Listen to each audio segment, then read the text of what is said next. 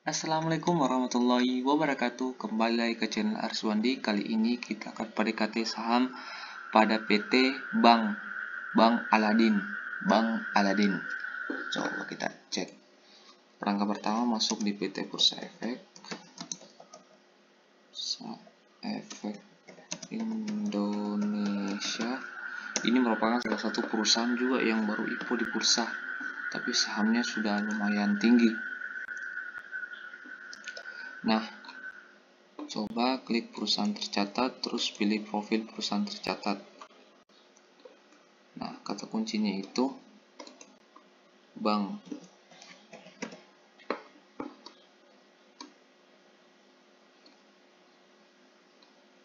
Bank Aladin Syariah.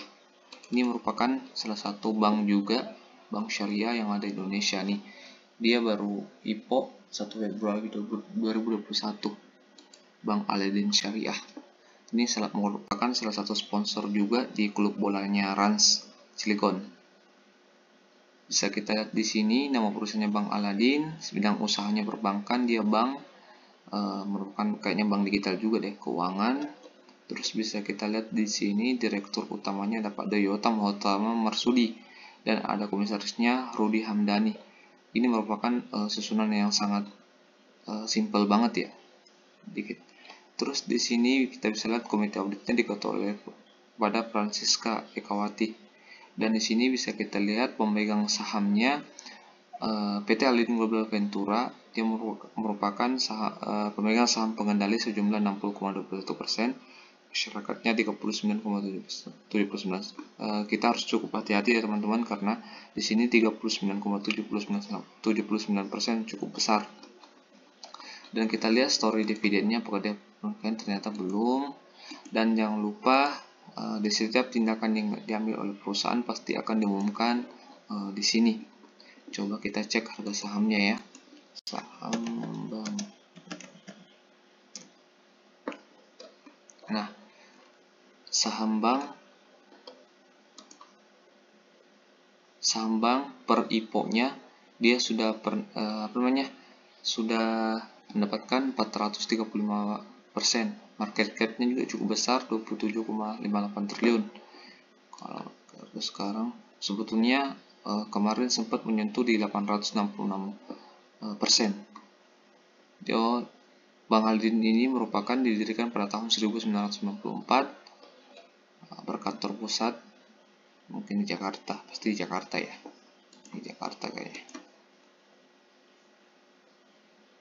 Oh iya Jakarta Selatan.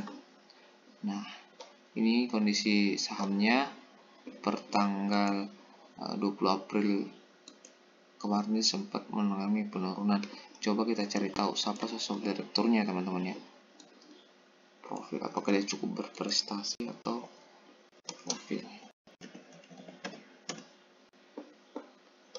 Nah ini dia teman-teman ini Marsudi adalah bisa dikenal sebagai dia atau Marsudi adalah Presiden Sektor Bank Modal Syariah resmi dinyatakan efektif menjawab menyusul keputusan OTK.